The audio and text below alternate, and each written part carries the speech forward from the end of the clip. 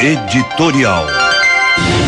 O consórcio Guaicurus e os motoristas de coletivos, essas duas forças que movem o transporte de massa nessa capital, continuam em busca de um entendimento capaz de atender, de corresponder às expectativas dos dois lados. O consórcio, nesse instante, luta para se manter em operação devido à crise no setor. Os motoristas também lutam por melhorias para que tenham o mínimo de dignidade pessoal e profissional. Exercem uma profissão que exige tranquilidade, disposição e bom humor, porque é uma tarefa repetitiva, estafante e aparentemente sem um futuro capaz de lhes garantir uma vida digna e próspera. Entendo que a empresa precisa lucrar para continuar, pelo menos, repondo o material que usa no atendimento, mas sem motoristas competentes, testados e companheiros, orgulhosos da tarefa que fazem e da interação entre eles e os passageiros, será impossível ao consórcio tocar o empreendimento com sucesso. É necessário que ambos se entendam, sejam parceiros, porque dessa simbiose depende também um terceiro importante que é o usuário, cada vez mais atraído por soluções independentes e baratas, mas que não oferecem a segurança que apenas o transporte coletivo consegue dar. Se junta a esse raciocínio o fato de que motos, bicicletas, elétricas ou não, têm ocasionado desastres, amputações e mortes, como se estivéssemos numa guerra diária em nosso trânsito. Não se pode, por causa da negociação que ainda não está destravada, criar inimizades entre patrões e empregados, porque um precisa do outro e os interesses são iguais. Acontece que o setor está amargando prejuízos, embora continue investindo à procura de uma saída capaz de assegurar o investimento e a sobrevivência de um setor que está em crise.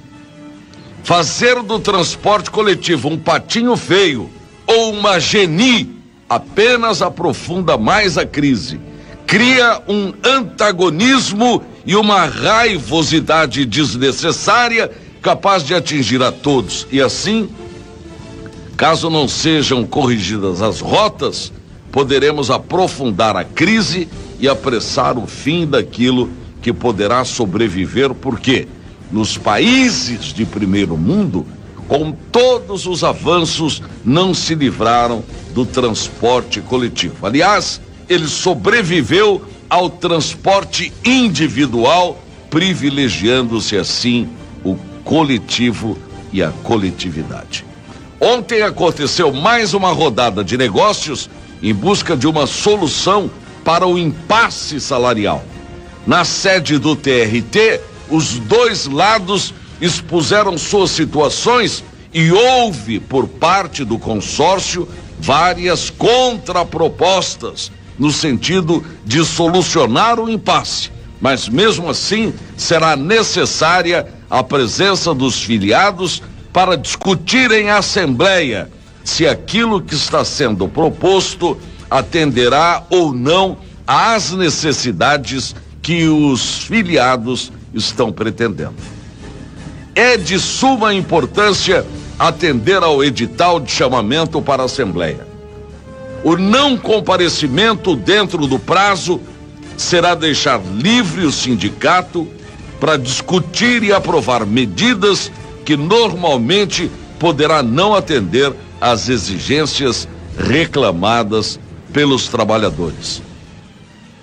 Tem acontecido casos de uma meia dúzia decidir pela maioria e depois aparecem os descontentes, os bicudos que acham que a negociação foi fraca e favoreceu as empresas do setor.